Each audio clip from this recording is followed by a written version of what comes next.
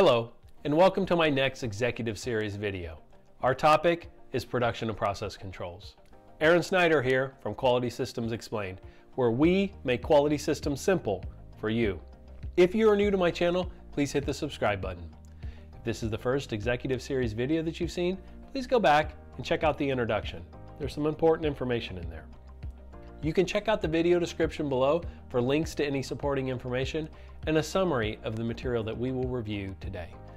In each Executive Series video, we have a standard agenda which covers four areas. You can see those areas in the status bar below. Make sure you stick around to the end of the video to get those three bonus questions.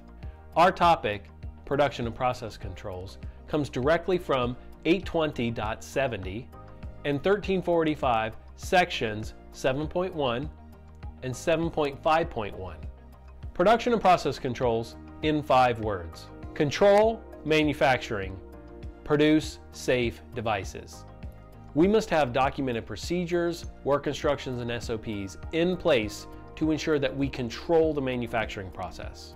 All of the equipment that we use has to be reviewed and approved. We have to establish workmanship criteria. What's good look like? What's bad look like? And we have to train the operators so they can tell what good product looks like, what bad product looks like. We have to make sure that we fulfill all applicable regulatory requirements related to the manufacturing and sales of our medical devices.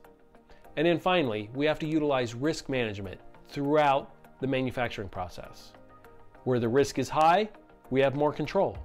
Where the risk is low, we can apply less controls. The risk management process itself will help us do that. So how do I know this is working? Well, first, I have all the SOPs and work instructions defined for each step within my manufacturing process.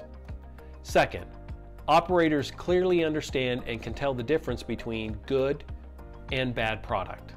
And then finally, I utilize risk management throughout my manufacturing process. So how do I know this is not working? Well, first, Operators don't know what good product is, they don't know what bad product is. So they're continually guessing on what's acceptable, what's not acceptable. Second, processes routinely operate outside of their validated range or their established parameters. And then finally, you have uncontrolled work instructions or your work instructions are not detailed enough. So what the operators actually do in practice doesn't match what your paperwork says. Now for those three bonus questions. First, how do we monitor and control our process performance?